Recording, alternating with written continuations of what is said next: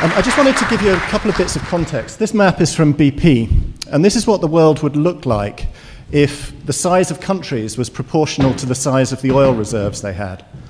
Now, you can see from this the sheer importance of the Persian Gulf region, um, which between five countries has about 60% of the world's oil reserves.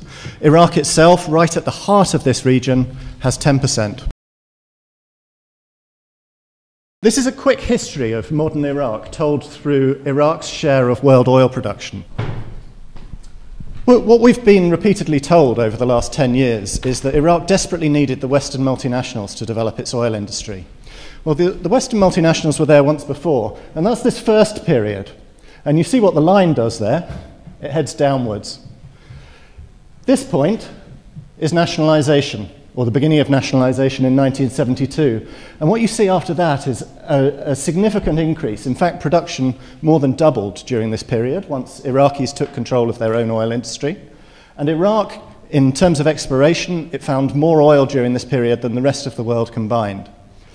And then the rest of, of, the, of the period, running up until the last couple of years, what we see is successful development of the oil industry, rising production, and then a war happens and it, and it gets destroyed and, and goes back down to, um, to very low. And each time, what the Iraqis did was rebuilding it. Um, the Iraqi oil engineer has a very special quality, I think. Um, one of the senior um, leaders of, of the Iraqi oil industry once said to me, We weren't engineers, we were craftsmen. And the reason he said that is because each of these times during wars, during sanctions, they managed to rebuild their industry. Here, before the war with Iran had even finished, they were rebuilding. Here, while sanctions were still underway, they were rebuilding. They were rebuilding through sheer ingenuity, cobbling together bits of parts. They couldn't import equi- equipment properly from overseas, and yet they kept it running enough to serve the country during this period, and then with the Oil for Food program, it started to increase again. I want to try and tell you four things in 12 minutes. Um, and these are the four things I want to tell you about. 2003, how the Iraqi oil industry was destroyed. 2006, 2007, how the surge was closely tied to uh, an effort to get the oil companies into Iraq. During that same period, the resistance by Iraqi trade unions against those efforts, and then a little bit about where we are now. You might be wondering what this has to do with Iraq. If you give me a moment, I'll explain to you. Um, I want to talk first about the destruction of the Iraqi oil industry in 2003. As we know, the Americans and Brits arrived in March, April, and they brought with them their friends, their, fr- their Iraqi friends, who had most, many of whom had been outside the country for a period of decades. Um, one example, the most famous at the time, was Ahmed Chalabi, who had left Iraq in 1958. Um, now, they brought these, their friends with them, and they put their friends into government, first in the governing council and then in the appointment of ministers in September of that year. When um, a new Iraqi oil minister was appointed in September, one of the first things he did was get rid of all the people who were there already and bring in his own friends and his own members of his party and members of his sect. Now, the people who were running the oil industry, many of them had been there since the, since the 1960s, some even longer. They were the ones who had built up the industry in the 1970s. They'd learned how to run the industry during all those difficulties of wars and sanctions. And they were very effective at it. They were not engineers, they were craftsmen. In their place came a bunch of friends and family of the minister, one of whom, and here's the reason for the picture, one of whom, his, his principal qualification, he'd, he'd been living in Denmark, his principal qualification was as a pizza chef.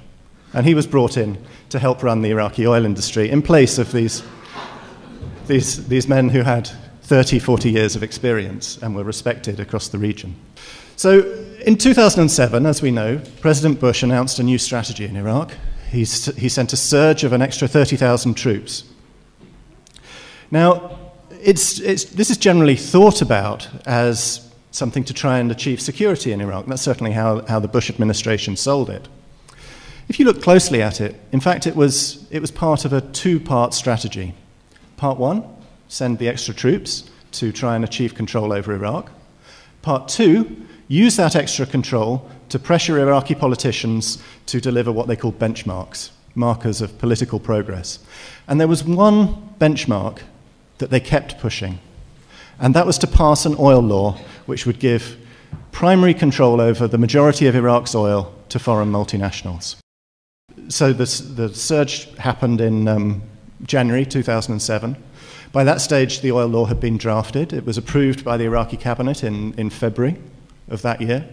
And it still had to get, get through the parliament in order to become law.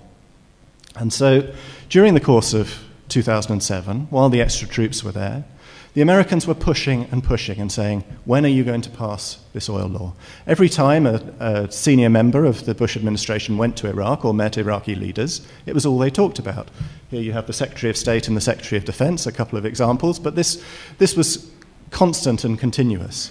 Bush was talking to Maliki every two weeks, and he was, con- he was constantly saying, Where is our oil law? Congress passed a, a, an act in um, April May of 2007 which made further reconstruction funds flowing to Iraq conditional on the passage of an oil law. Maliki said in, in around March of 2007 he understood very clearly from American officials that if they didn't get their oil law, they would be looking to remove him from office. And so there was this intense pressure to pass an oil law that would have put Western multinationals in charge of Iraqi oil for the first time in, um, in more than 30 years. And in, in, order to get this through, the Americans also tried to deepen the sectarianization of, of Iraqi politics. It was already pretty bad at that stage. What they tried to do was they tried to move authority away from the cabinet and away from the parliament towards the president, the vice presidents, and the prime minister. And so a, a team of, of five friends of, of the US were positioned to get this oil law passed and to take more extensive control of Iraq. This is a friend of mine. He's, um, his name is Hassan Juma. He, he's the leader of the Oil Workers Trade Union in Basra. Um, in December 2006, I attended a meeting with the leaders of all of Iraq's trade union federations um, on the subject of the oil law, which had just been drafted at that stage. And what he said was, Oh, Prime Minister Maliki promised that he would uh, consult with trade unions and civil society about the oil law. Now he's saying he's not going to. And that was sufficiently provocative that the, um, the, the unionists started to talk about what they were going to do about this. Not just about the bad news, but how they were going to fight it. And so, over the course of a two and a half day meeting, we, they came up with a strategy for how they would fight the oil law. Actually, this was a remarkable period. In early 2007, given the sheer weight of political pressure that was put by the Americans to get this oil law passed, I couldn't see any prospect of it not being passed. It looked like it was inevitable. But the trade unionists, they started organizing. And this became a massive popular issue. The Americans set a deadline for passing the oil law of September 2007, and they failed to meet it. The oil law wasn't passed because it was a popular issue and Iraqi civil society managed to organize against it. The Iraqi oil law still hasn't passed today. And in fact, not only did they fail to get their oil law in September 2007, I think that was the point where US control over Iraq started to decline. The, um, the final thing I want to talk about is where is the oil industry now? This is a picture of a SIM card from Lithuania. The Iraqi oil industry today I characterize as a, as a gold rush. The, they didn't get their oil law, and so, in the absence of an oil law, there is no legal basis for multinationals to operate in the Iraqi oil industry. Nonetheless, they are operating there, as you probably know. They arrived mostly in early 2010, and now the majority of the Iraqi oil industry is run by the likes of BP, Shell, Exxon, some Chinese com- companies, a Russian company, and so on. Since they operate without a legal basis, as I say, um, under agreements with the Iraqi government, and I imagine those agreements will last as long as the Iraqi government does. But since the multinationals arrived, the levels of corruption have skyrocketed. They were already terrible, they, the corruption in the Iraqi oil industry started to grow bad during the sanctions era in the 1990s, got a hell of a lot worse under the Coalition, Coalition Provisional Authority in 2003, continued to get worse under the current crop of po politicians, but accelerated a fourth time when the multinationals arrived. Two of the Western multinationals, one Italian and one Australian, are being investigated, one for paying bribes, one for receiving bribes. The case involving the Italian company, Eni, was a complex scheme involving Lithuanian SIM cards in mobile phones, hence the picture, and they were using these because they were untraceable in their receipt, re receipt of bribes. At the same time, the rights of workers are being routinely violated. Workers aren't being paid what's due them, their salaries are being paid late, special bonuses aren't being paid at all, and so there are numerous protests against the Western oil companies. Coming back to Hassan Juma, he was recently arrested again for about the fourth time.